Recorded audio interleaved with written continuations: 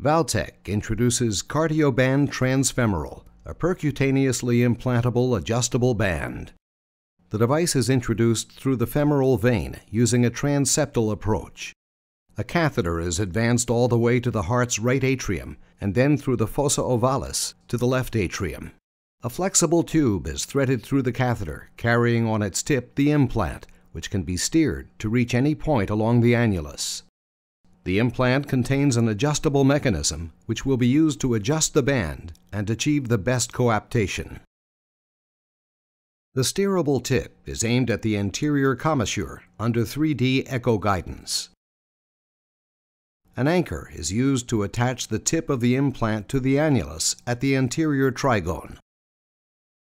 About a dozen anchors are sequentially deployed as the tip is navigated along the annulus towards the posterior commissure, exactly as suturing a standard annuloplasty band during an open heart procedure.